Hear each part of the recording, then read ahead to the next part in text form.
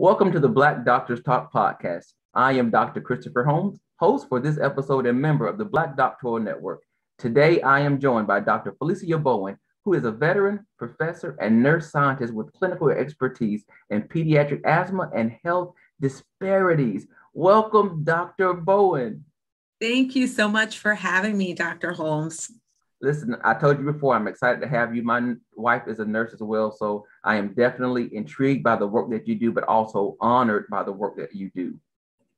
Thanks. Appreciate that. So, first, I would like for you to start by telling our viewers and our listeners a little bit about your background. Where does it all begin for you? Wow. So, um, me in a couple of minutes here. So, I am a military brat. My dad was in the army, and um, I've lived many, many places in the US and abroad. And through those experiences, I've seen people who have been very well off. And I've also seen situations where people have just struggled to make it through the day. Um, I graduated high school in Germany um, and went to school at Tuskegee, Alabama. And so that was a fabulous experience um, being at that HBCU, but it was also extremely enlightening for me because Tuskegee is located in Macon County, Alabama, and that is the poorest county in Alabama. It's the county where the Tuskegee experiment took place. Um, and I had really not experienced abject poverty.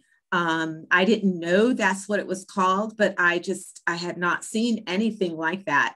Um, and I, I had the sense of, you know, something's not right. Everybody deserves a healthy life. Um, I had an ROTC scholarship uh, went on to active duty. And through that experience, I saw the other side of the military, right? So I was a nurse and I had an opportunity to provide care um, to uh, the military, veterans, and dependents. And although those folks weren't rich, you know, people in the Army don't make a lot of money, they had really good health care. Mm-hmm. And um, so I had an opportunity to take care of young folks and old folks. And I saw that there was a huge issue with chronic disorders, diabetes, heart failure, hypertension, asthma. And so, pondering those things, I thought, you know, where do we make inroads here?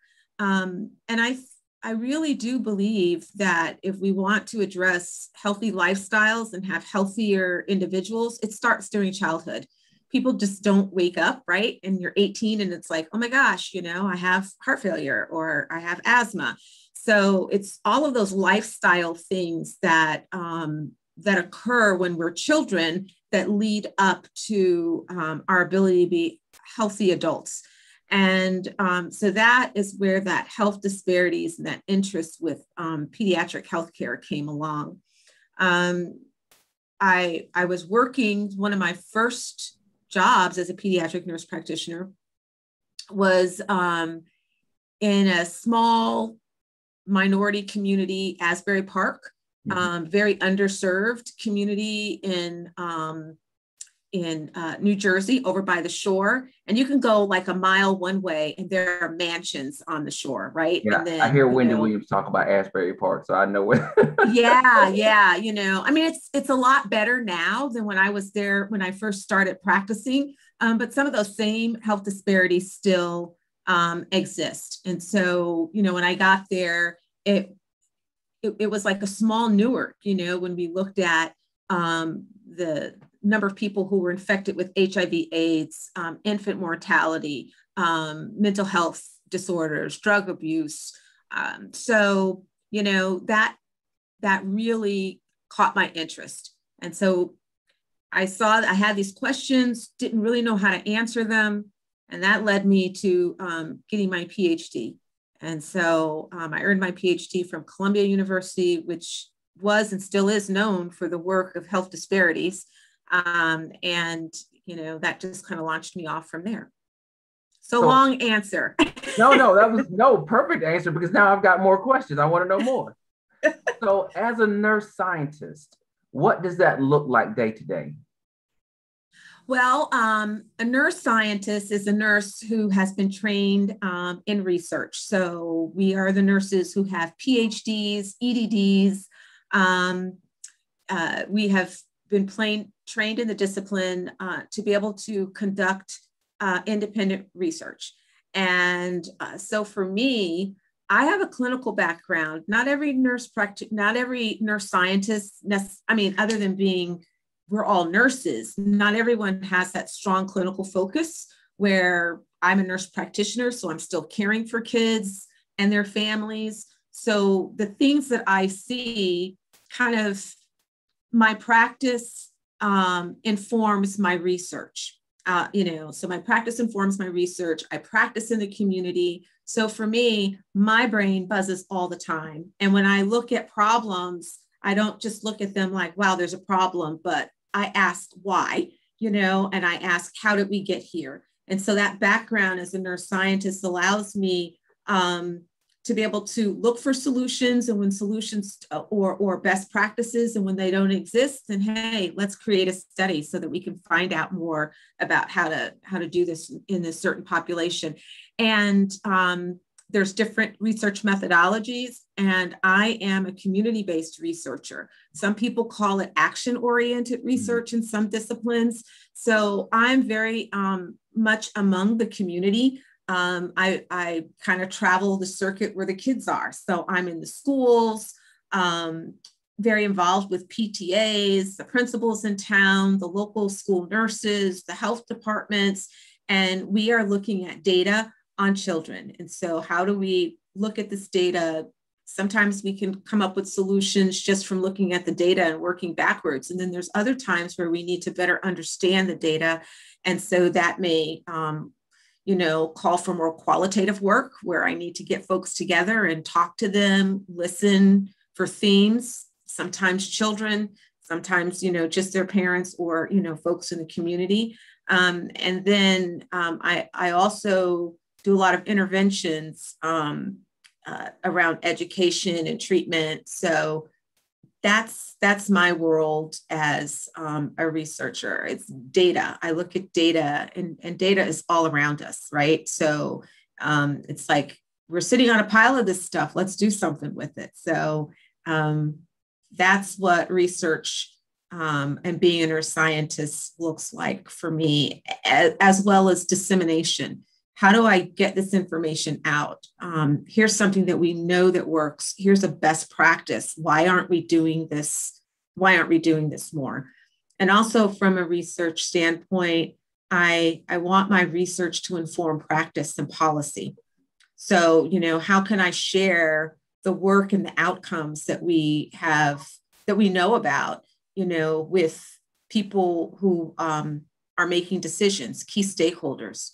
Um, and sometimes that means, you know, if they don't listen, then how do you get to the table with them? You know, so there may be some elbow bumping to get to the table. Um, and and I've also learned that sometimes the key stakeholders aren't really the people around the table. They're more like the people in the community. Folks at the table may be coming up with plans, but if they're disconnected from the community um, or the community of interest, you know, it's kind of like spinning your wheels. Mm. So we have to meet people where they are, find out what's important for for them, and and work with work with with groups of people um, to address issues. So you you drop so many buzzwords that just make my whole soul tingle a little bit.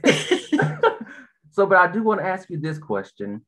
One of the things that you said that was important to me is that there is data out there, and what we have to do is do something with the data.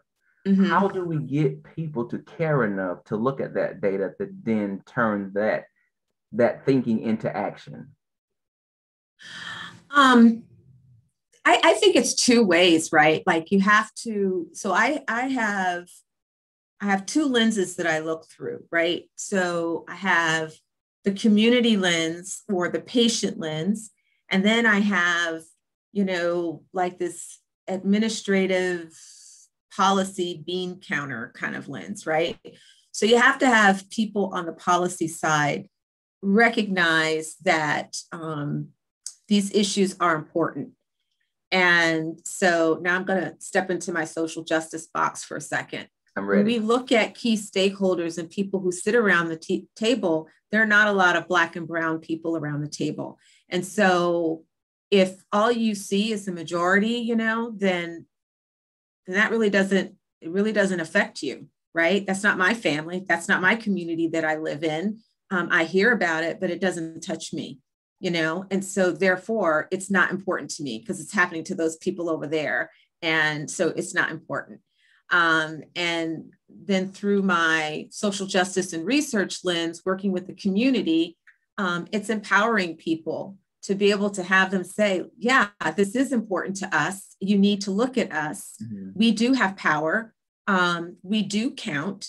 And a lot of times that's around elections, right? Nobody wants to hear from Black and Brown folks until it's time to cast a vote. Right. Um, and so, and getting getting people who are from under resourced areas to really feel empowered. You know, a lot of times it really makes me sad when I hear people say, you know, we talk about this all the time and nothing happens, you know, or people come into our community and they want to, you know, test or have us fill out surveys or whatever, but nothing happens. So I think it's important to take that information that we found, bring it back to the community. You know, sometimes it's stuff they want to hear, sometimes it's not, but you know, this is the data that we gathered, this is the sense that we made from it. And then also validate with them. Yeah. You know, so sometimes I'll do things and we'll come up with, you know, maybe even if it's qualitative data, you know, ask those folks back, you know, invite them back to to the table to say, hey, this is what we came up with. Do you agree with this? Mm. This is what it means to us. What does it mean to you? You know, and um, so people have to feel empowered. They have to feel like they care, like they make a difference. You know, like they they they are um, their communities are worth are worth fighting for.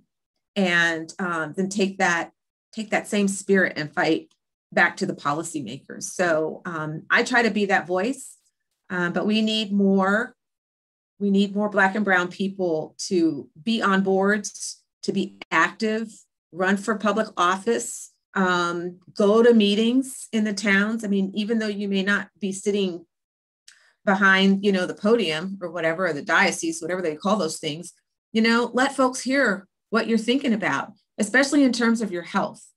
And and i'm not a public health person i guess maybe because i do so much work in the community and i, I work closely with public health um, colleagues you know they, they have a saying that says um, health in all policies.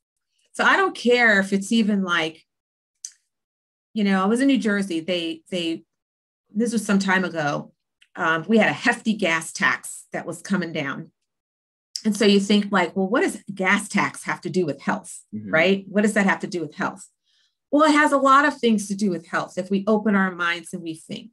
If we think about home health aides and the home health, um, you know, home health providers, who's doing that work? Those are low paying, very important jobs. Mm-hmm. They're minimal wage jobs. A lot of times, people who are going to other folks' homes, providing care to them, are getting substances themselves, mm-hmm. right? So, how do I get to my places of work? I have three clients that I need to see in a day. They may be five to 10 miles apart, right? So that means I have to have my vehicle. I've got to put gas in my vehicle. Even that increase of $5 more in gas expenses through the week is $20 a month, is whether or not I can pay a light bill, a phone bill, maybe buy some meat, you know, for my table. How is that going to affect me? You know maybe i can't afford to work in this position anymore so i have to leave this job. How is that going to affect the person that needs that care? The person who's at home who's relying on these folks to show up to their house to help them you know get bathed get dressed.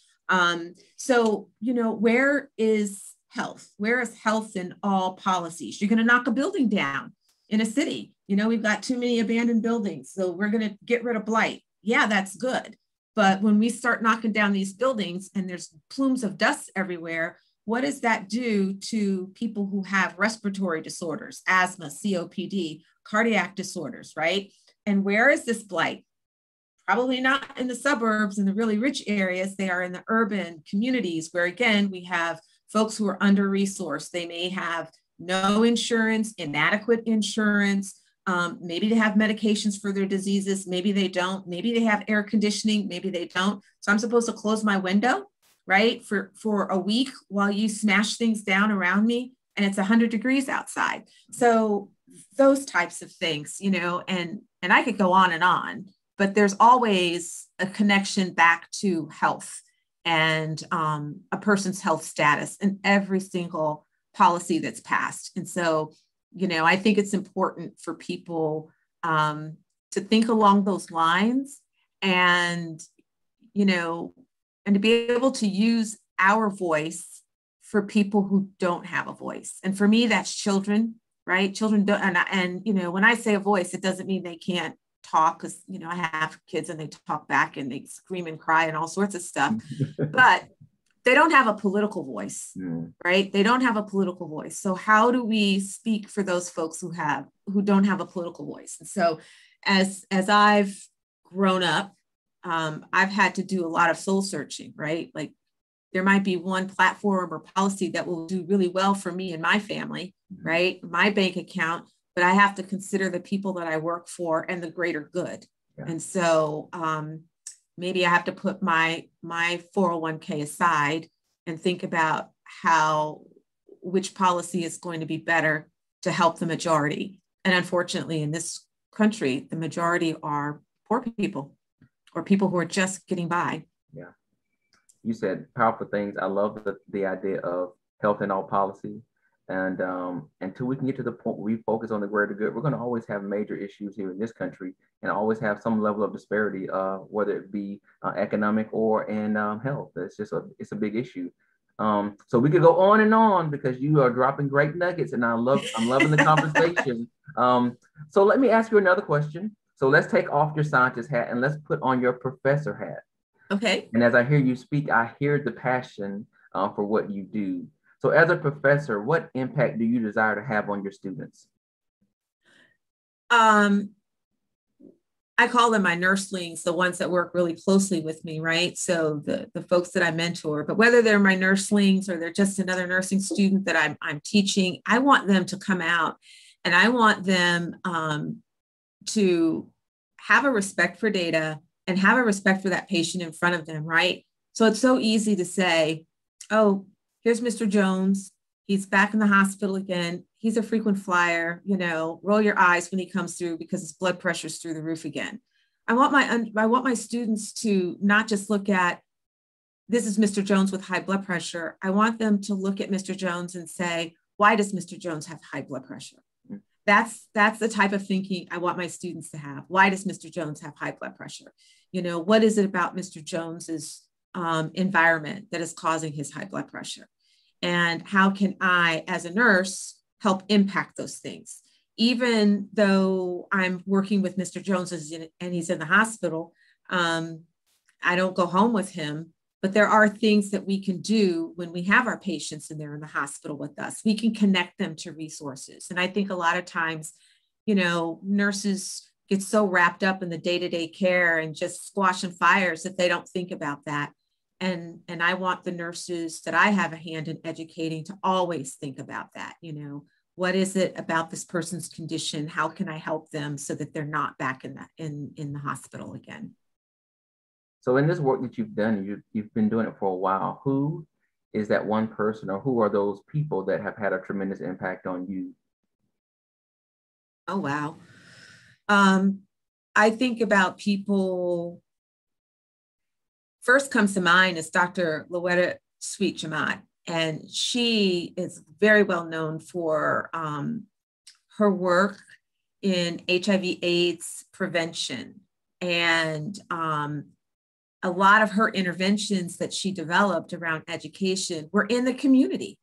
You know, I mean, here's a person who was going into beauty parlors, you know, and like, hey, sister, let me you get your hair washed. Let me let me drop something on you, you know, and and that, you know, just looking at her work as she went through was like, wow, you know, we don't have to be in an ivory tower. We need to go to where people are, and um, so that's that's had a she has had a huge impact on me. I've had other uh, mentors. Um, Dr. Jackie Campbell, who has done a lot of work um, with domestic violence and intimate partner violence, and looking at how she used her body of work to impact policy. You know, here's a person who was looking at domestic violence, and, and then it's like, wow, I got to watch my mentor in front of Congress, you know, addressing Congress on these issues.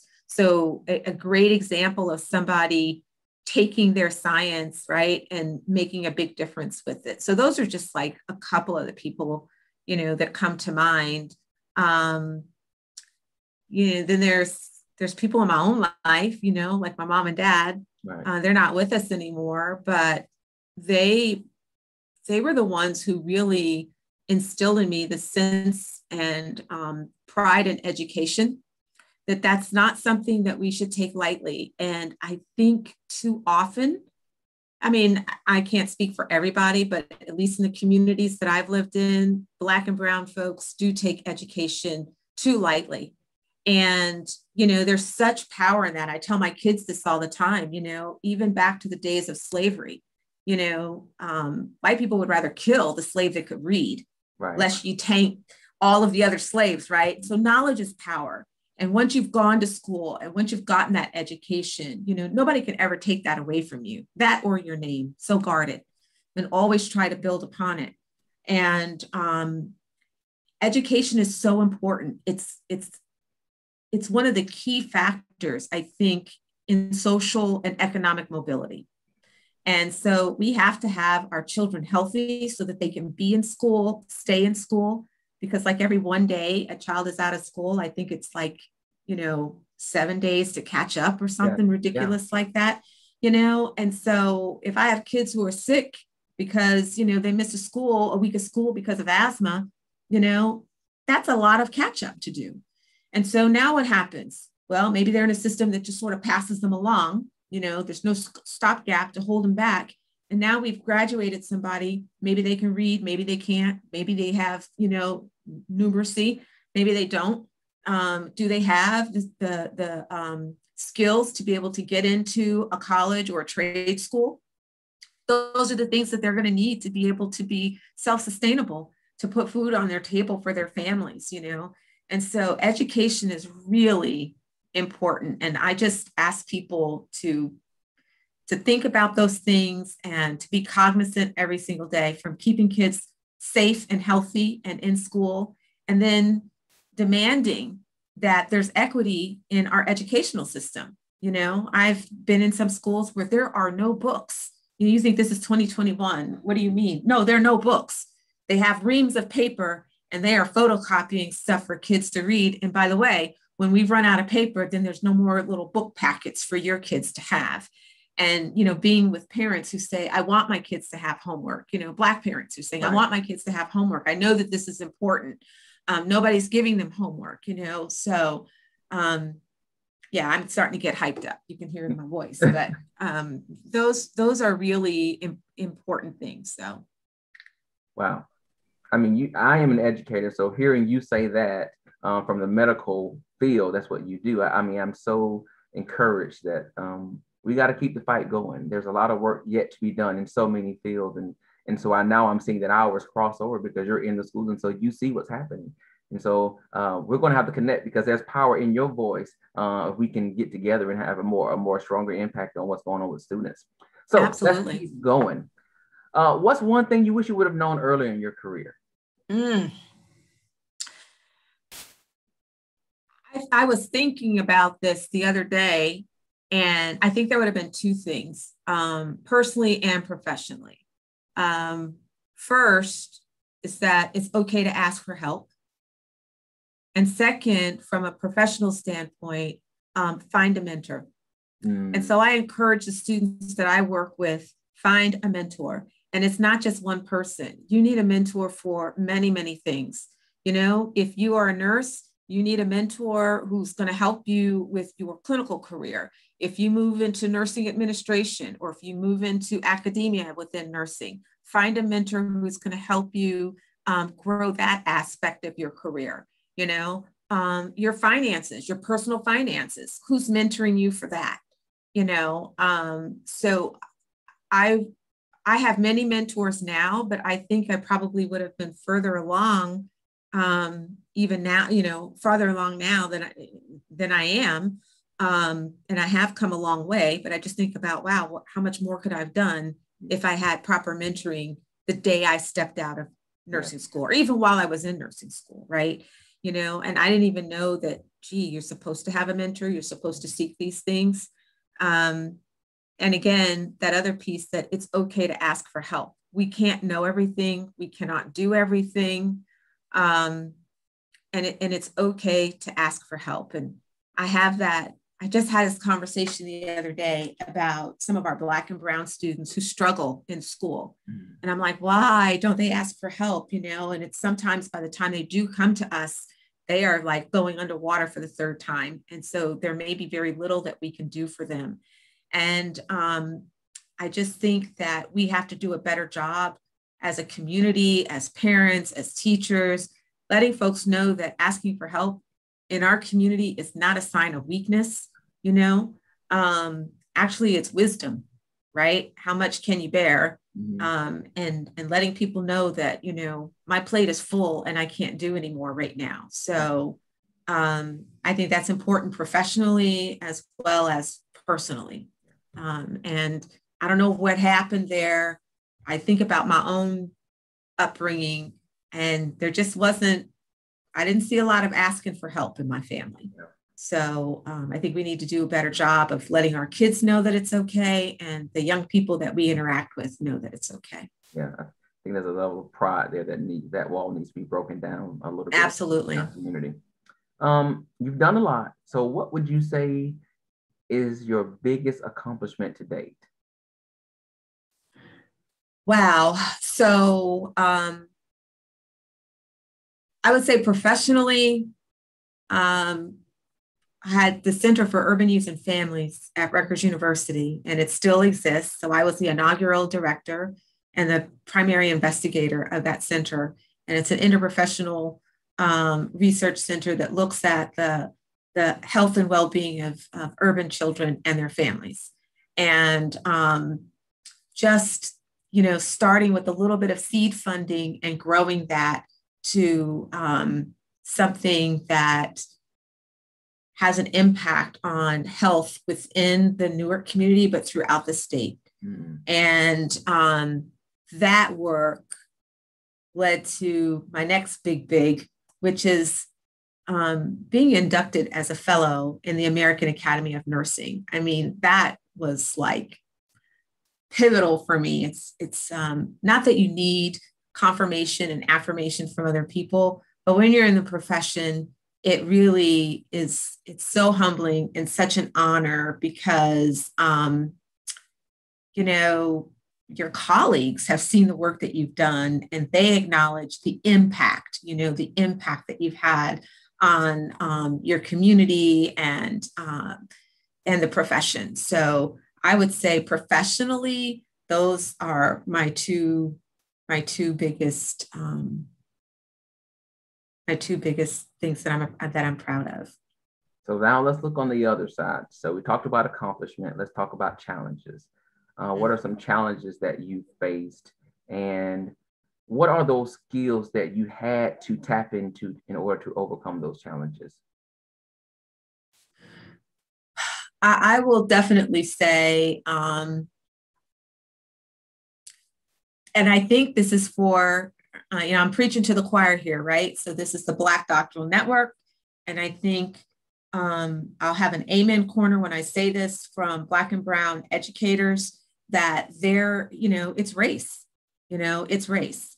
And um, being held out of the game, you know, whether it's for tenure, the rules changing, yeah, there's rules that are written right in in the faculty bylaws and faculty senate, but what are those unspoken things? Yeah. You know, what are those unspoken rules? And so that's been a lot of what I have had to tackle.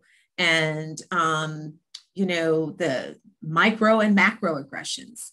And so I've had to learn, um, first of all, get a thick skin, right? And I've also, what I tell my students and my kids, I've had to learn to disappoint people. Mm-hmm. And so, what do I mean by that? So, when I'm in a meeting with colleagues and they make these off the cuff remarks, or, you know, I'm denied, you know, some opportunity, what is expected of me is that I'm going to wild out, right? Mm-hmm. Um, but I disappoint them. I disappoint them in every chance I get. I love that. You know, so um, yeah, I'm I'm going to keep my cool. Um, I'm going to get collected, and if we can't go over the mountain, if we can't go around the mountain, sometimes we have to dig through the mountain. And it may take a little bit of time, but we will get to the other side. Mm-hmm. And so that persistence and um, don't give up and surround yourself with people. And a lot of times, find out who your allies are. That's yeah. what I've had to do. Get allies quickly. Who are the people within my organization that really are, um, you know, could have my best interest? And, you know, I've had to put all this, they don't look like me aside stuff, and just get in front of them and let them know here's my worth and here's what I bring to the table. And this is why I'm important investing in. And so, you know, you build up those allies when those when those roadblocks come. Sometimes you need to go to those allies and say, "Hey, this is what I'm facing, and this is what I need from you. You yeah. know, this is what I need from you." And um, so, yeah, that's how I've learned how to get around those things. But definitely, I try to disappoint as much as possible. Learn to disappoint people. Um, so when you set goals, and I'm sure you've set many, what are those steps that you take to reach those goals? Well, I've had to learn, um, you know, because I am a goal setter and a list maker. and um, I would get really disappointed, you know, in the beginning, like, you know, oh my gosh, it's a month later and I haven't, you know, written a book or anything, right? So I still haven't written a book, but, you know, um, I haven't accomplished this one big thing that I wanted to do. And so I think it's important that when we have these goals, they need to align with who we are, and where we are right now, right? So if I say I want to be the president of the United States, well, that's a noble goal and aspiration, but that doesn't align with me and who I am right now. And so I have to think about, you know, what is it that makes me happy? what is it that gives me joy? What is it that gives me purpose? And I set my goals along those lines. Mm. And, you know, it may not be the same goal that you have, you know at this point in our careers it's it's not a team sport in a way you know it, it always is we're part of a collective but in terms of goal setting you know we are individuals right now you know we are individuals. And so you know i think about my legacy and what i want to you know leave to the world. And so that's how i set my goals. And then what is this little piece that i need to bite off right? So you know how do how do i how do i get myself in this position? Well, maybe I need to be part of a board before I can do something else. Okay, how do I get involved in the board?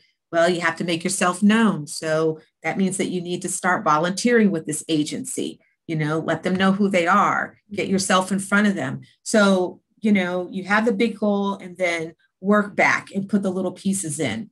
And um, that's that's what I've learned through the years because it was like I set a goal on the other side of that mountain but I didn't think that I might need a rope ladder or a bridge to get over there. Right. So uh, I think it's really important to put those to, and share your goals, but be careful who you share your goals with because everybody's not happy for you. Everybody's not happy for you.